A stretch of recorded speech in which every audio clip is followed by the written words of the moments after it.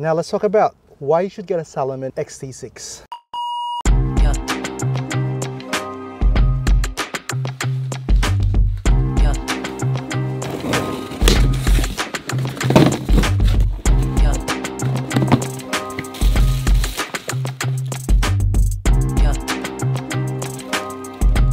Wow, this is so nice.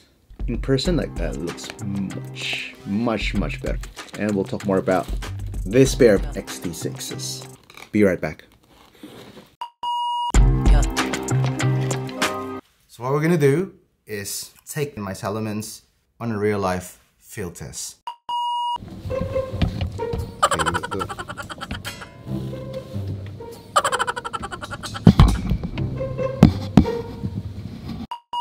And now we're here in that walk.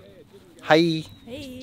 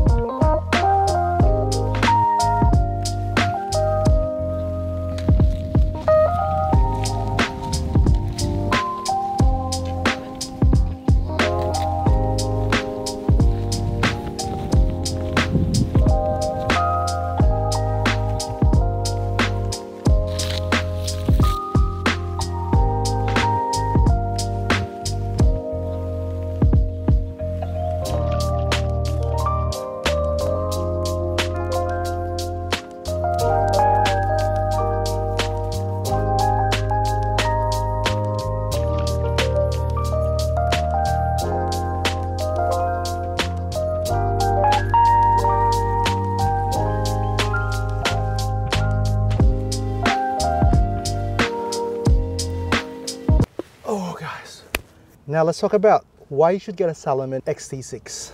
Okay, so right now I'm on a walking trail called Simmons Track or Simon's Track. Let's talk about the Salomon XT6, in particular their And Wander collaboration. This is the Salomon XT6 in collaboration with And Wander. As you can see on the mesh tongue area, there's a text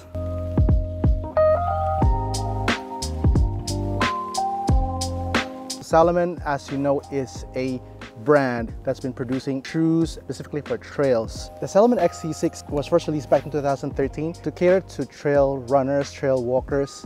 Shoes that is lightweight, but at the same time durable and at the same time comfortable and soft. Salomon XT6 is actually a trail shoes that's now crossing over to lifestyle. So there's a lot of fashion genres that's starting to incorporate Salomon XT4 and XT6 in their fits. You've got the Gorp Core people, the technical clothing people.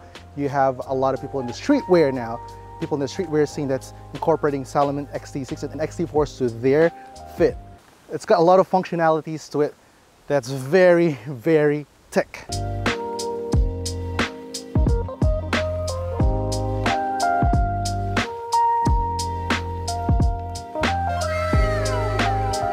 I even see people that's into like the whole Japanese silhouette kind of like fashion fits, fashion genre.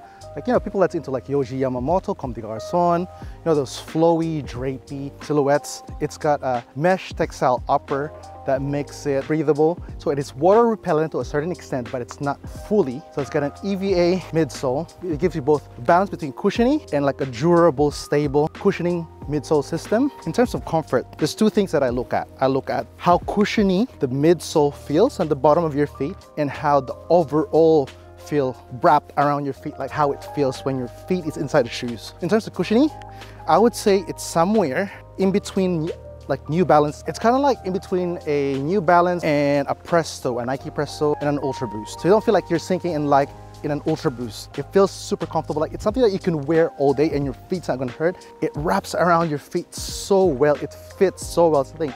It forms around your feet. Uh, trail shoes is meant to be stable. Let's talk about sizing. Sizing, I'm a true US men's 6, Presto, Air Force Ones, LD Waffles, but because my feet is slightly on the wide side, if I wear any running shoes, I go half a size up. Now, should you go true to size with XT6? And I went true to size with the US 6.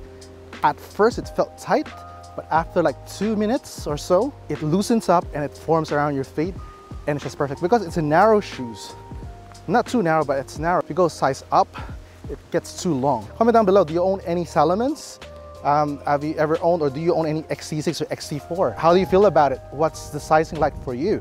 And that's it for this video. Hope you guys like this video. If you did like this video, please hit that like button and smash it if you want to. Do not forget to subscribe if you haven't yet and please hit that notification bell so you're updated with all my videos. All right, I'm gonna keep going in this trail and I'll end the video here and I will see you guys in the next video. Till then, peace, much love, I'm out.